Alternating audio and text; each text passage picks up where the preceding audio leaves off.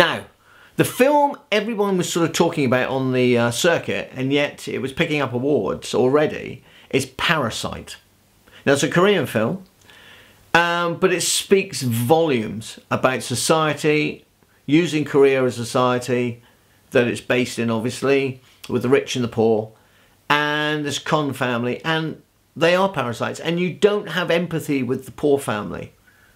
You sort of do, and then you just don't, because they're just despicable people. But the rich people are despicable. And it works. As a movie, I think this is going to win the Oscar for foreign movie. It's just so beautifully made. A little bit long for me. Uh, the performances are all fantastic. And they all stay totally to character. They don't suddenly change halfway through, become a different character. They actually are rounded, brilliantly written script, brilliantly set, and Parasite. If you're into a foreign movie and you think, you know what, I wouldn't mind seeing it, go see it. Because you'll be astounded at just how good foreign movie films making, film, movie making is compared to people just doing like the Disney at the moment, just doing it's got to have an A to B to C, may throw a G in there somewhere to throw people, we get, end up at D, and everyone goes home happy with popcorn.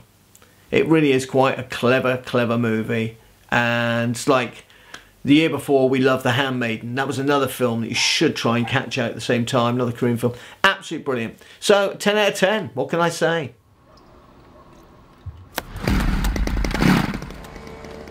뭐야 소독해? 창문 닫아 나도 봐. 공짜로 집안에 소독도 하고.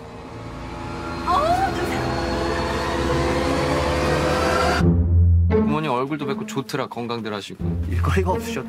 네가 내 대신 얘 과외 선생님 좀 해줘라 영어 대학생인 척하라는 거야? 구라를 좀 치지 뭐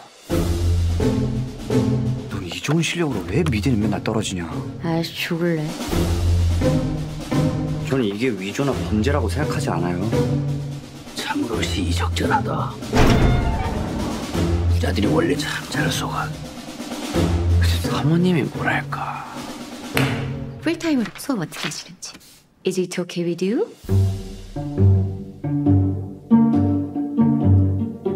우리 다송이는 완전 예술가 재질인데 침팬지를 그린 거죠? 자화상이에요 역시. 그동안 미술쌤도 여러 명 바꿔가면서 해봤는데요. 제가 사람 하나가 휙 하고 떠올랐는데 아 잠깐 제시카 외동딸 일리노이 시카고 과 선배는 김치모 그는 이사촌.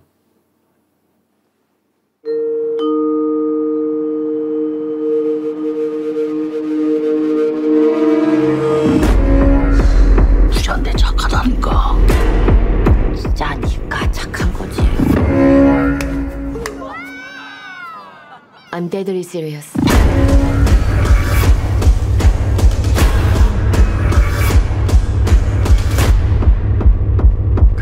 지금 진짜로 이상한 게 뭔 것 같아.